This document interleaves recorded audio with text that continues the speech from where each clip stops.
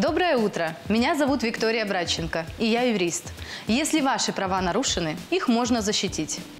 Я пенсионер, мне не хватает денежных средств на проживание, лекарства очень дорогие. Мой сын обеспеченный человек, но он мне не помогает. Могу ли я подать заявление в суд на выплату алиментов и заставить сына содержать меня? Пока дети являются несовершеннолетними, родители должны обеспечить их всем необходимым для полноценной жизни.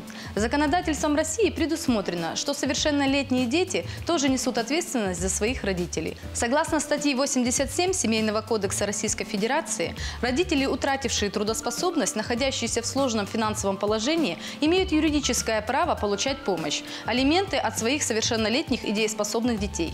Вы имеете право обратиться в суд для взыскания алиментов со своих детей в случае вашей нетрудоспособности, которая согласно нормам законодательного акта наступает в двух случаях – инвалидности и достижения лицом определенного возраста. Для женщин это 55 лет, для мужчин – 60.